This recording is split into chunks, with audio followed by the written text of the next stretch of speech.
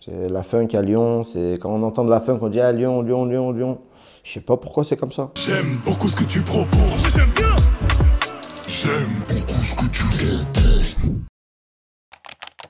C'était même pas encore sur les MP3, c'était sur les radios cassettes, tu vois. C'était rough, ça fait plaisir.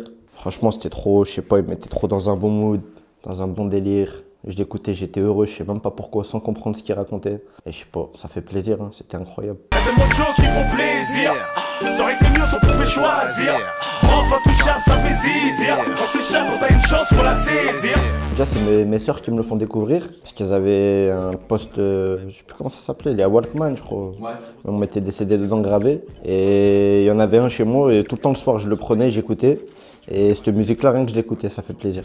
Rien que je l'écoutais, je sais pas pourquoi. Celle-là, je l'aimais trop, c'était ma, ma numéro 1. Franchement, pour ma part, il est dans les deux, trois meilleurs rappeurs français. hein. Je kiffais trop, j'adhérais. Tu vois, j'aimais trop comment il parlait, la façon de s'exprimer. C'est Salera, il y, il y a eu, on va dire, un buzz dessus, plus que sur mes autres morceaux. Hum, mais en fait, il a pas pris directement. hein. Je l'ai sorti, je crois, en 2018. 2018, ouais. Il a fait single d'or que là, en 2022. Mais toutes ces années-là, ben, on m'envoyait des vidéos dessus, en boîte, en soirée, ou quand je le fais en showcase. C'est le morceau que je sens qui a le plus d'impact sur le public. C'est ça les rats,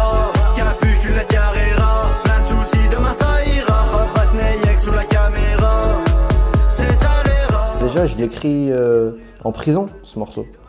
J'avais écrit le refrain déjà en prison. Et même pas, c'était sorti de ma tête. Je pensais même pas le faire une fois sorti. Et c'est une fois, j'étais au studio avec un pote à moi. Et je sais pas pourquoi j'ai repensé à ce morceau. J'ai réécouté l'instru. J'ai posé le refrain. J'ai écrit le couplet en, je sais pas, 30-40 minutes. Et après, le morceau, il était à gauche, tu vois. Je l'ai jeté à gauche. C'était un morceau de fait en plus. Sans, je comptais même pas dessus. Et c'était euh, bah, avant que mon premier projet Six Nove sort. Je faisais écouter à mes potes, tu vois. C'était le morceau qui revenait le plus, c'est Salera. Ils aimaient bien ce Salera. Et moi, je validais toujours pas. hein. je le validais toujours pas. J'aimais bien, mais sans plus. Je vais pas te mentir, on a une époque où je suis un peu perdu dans ma tête. Que je sais pas si la musique c'est mon métier ou si c'est juste un passe-temps. Je vivais vraiment au jour le jour.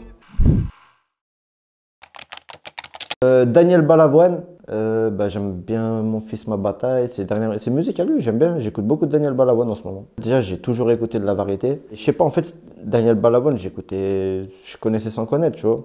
Et là, je sais pas pourquoi je me suis intéressé vraiment à, à ses musiques et j'écoute en boucle en ce moment. Oh,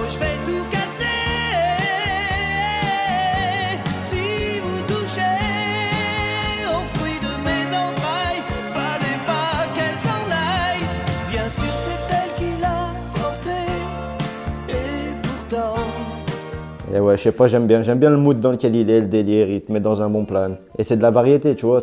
La variété, quand tu l'écoutes, c'est pas comme le rap. Le rap, tu peux être de bonne, de mauvaise humeur, de énervé, t'as compris La variété, t'es toujours dans un bon plan. C'est le morceau de Jules. Moi, il s'appelle Moi, j'aime trop ce morceau.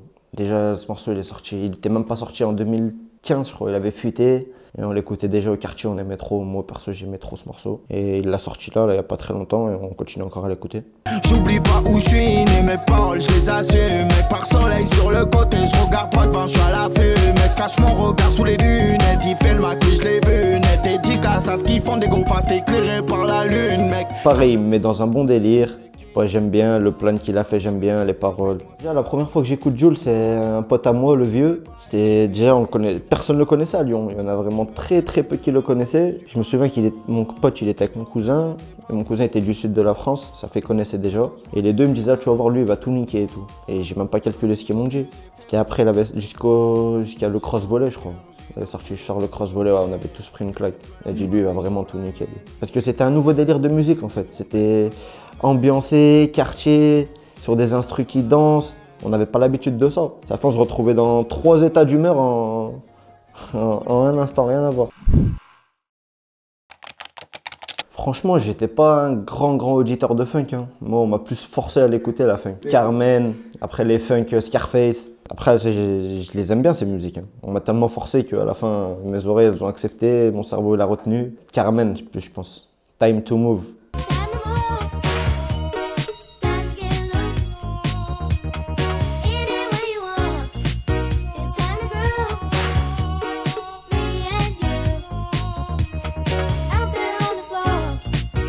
la funk à Lyon, c'est quand on entend de la funk, on dit ah, Lyon, Lyon, Lyon, Lyon.